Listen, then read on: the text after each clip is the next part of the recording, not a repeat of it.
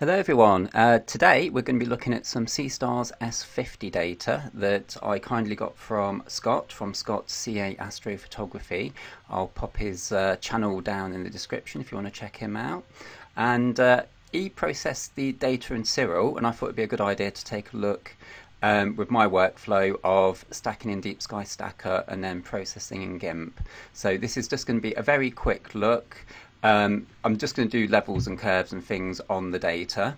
So what data have we got? We've got some M101 data with a recent supernova and some M51 Whirlpool Galaxy data. Now, there's only 54 minutes worth of data for M101 and very little data on M51, but it will give people an idea what to expect when they get a Seestars S50. Um, because at the moment, uh, no one, not many people have got these. I don't think. I don't know if anyone's beta testing them. Maybe one or two people. But let's jump into it and have a look. So I'll go into GIMP. What I did is I stacked the uh, TIFF files in Deep Sky Stacker, and I found that the best settings were to use entropy weighted average.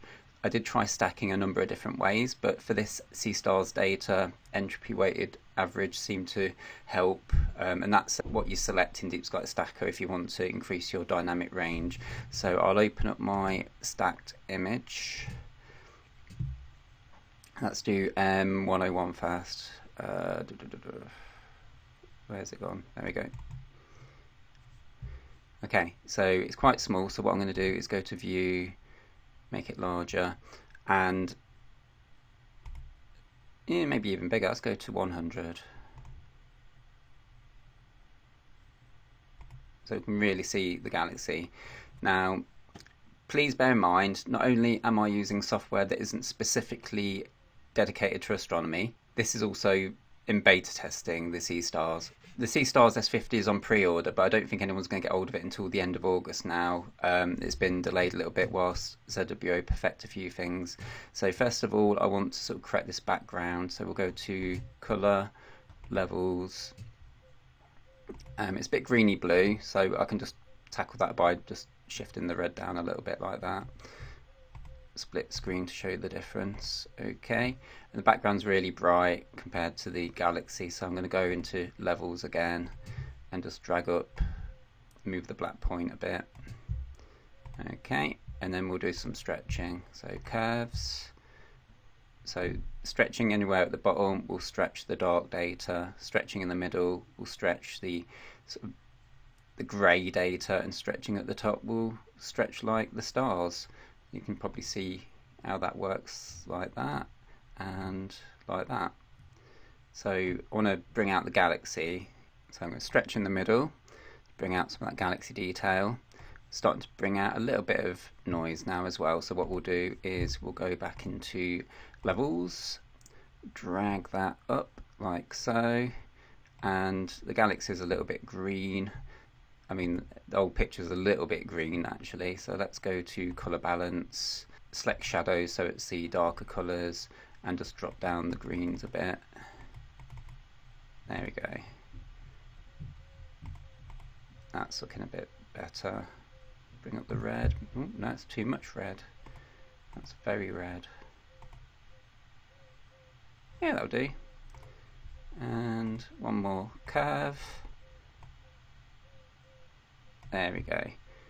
And uh, yeah, so you know, this is just a very quick look. I'm not going to go mad. You could spend, you can spend, and you do spend ages sort of tweaking things when you post processing images. But one thing I will show you is this new plugin that I've uh, come across, um, probably a few years too late, but it's called G'MIC. And um, I've opened a tab to show you where that's from. You can just download it from gmic.eu and then just download it in the usual way and then just restart GIMP and then it just appears on your filters folder. So click on that and it just gives you loads of options. So you just got loads and loads of options now. So um, one I've saved a few of my favorites. Uh, the easy skin retouch actually works quite well for smoothing out the image and you can kind of adjust how aggressively you do that by sliding the edge sensitivity. So about 1.4 maybe a little bit more. Okay, I think I'm going to go apply on that one.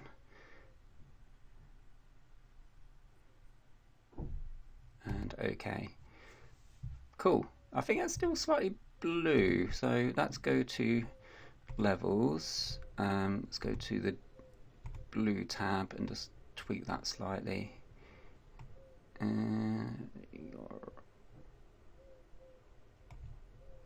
That. It's very slightly different.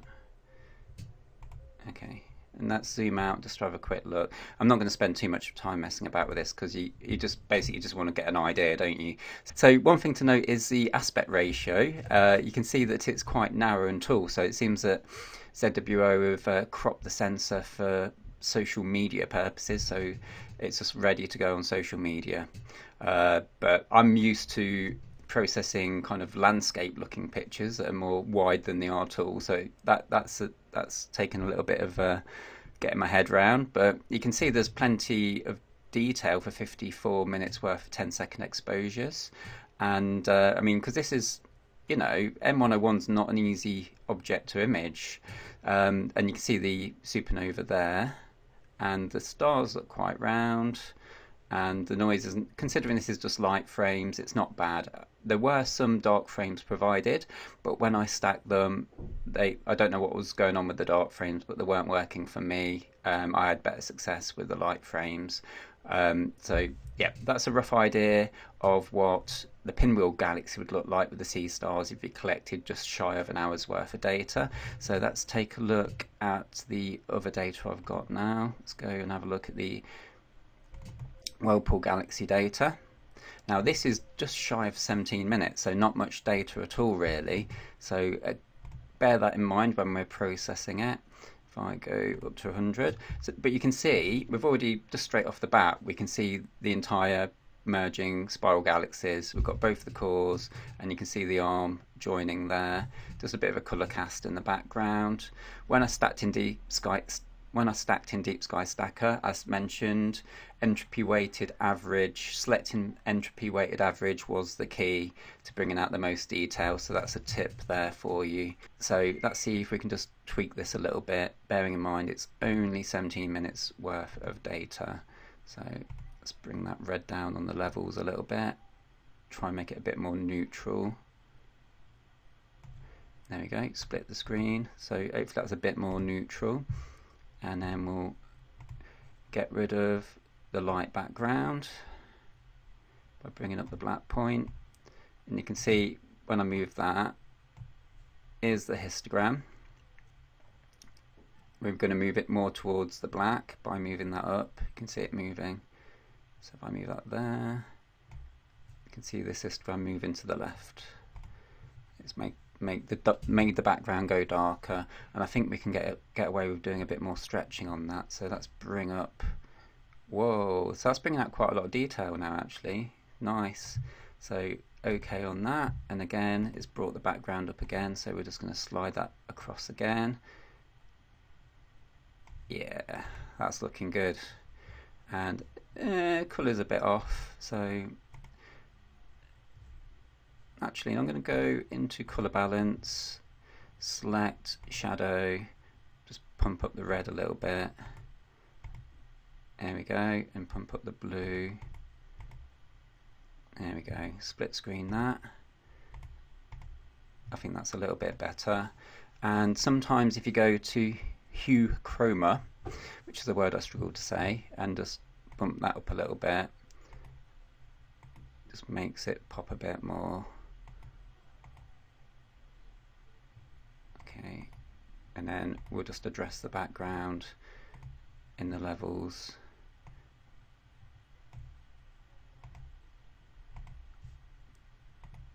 tweak the levels one more time I said I wasn't going to faff about too much with it but it's difficult to resist sometimes mm.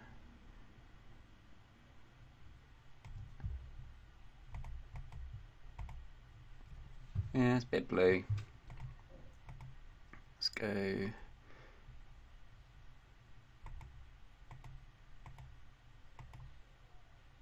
Uh, drop the blue down a bit, or green up a little bit maybe. There we go. Yeah, okay. very quick, just very quick. Anyway, so let's zoom out and show you what we've got roughly how it would appear. So there we go. Um, oh, so I think I might have slightly clipped the background on that one. Uh, that, let's just do one more little stretch. There we go. It's a little bit dirty in the background. Let's go to our plugin G'MIC. And let's try the easy skin retouch. Apply that. Smooth it out a little bit.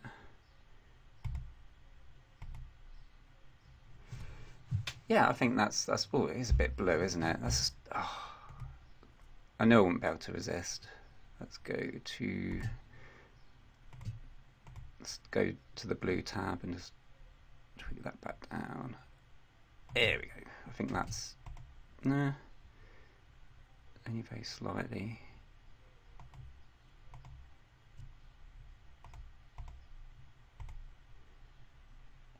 Mm.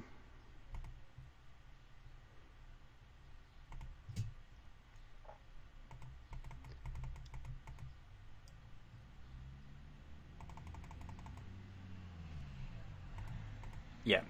Okay. Okay, I'm happy with that now. That for a quick process, I think that's pretty good. So let's zoom in, show you one last time, go to 100%. So quite a lot of detail really, considering that's only just shy of 17 minutes of data. Uh, so yeah, that was a quick look at some Seestars data, just the light frames, not too not too much data, but it just gives you an idea and gives you an idea of the aspect ratio and how everything will look if you get a Seestars smart telescope and you stack in Deep Sky Stacker and process in GIMP. A big thank you to my channel members and patrons and I hope everyone enjoyed that. Just a very rough and ready video but I hope you liked it. If you liked it subscribe hit the like button and hopefully I'll see you in the next video.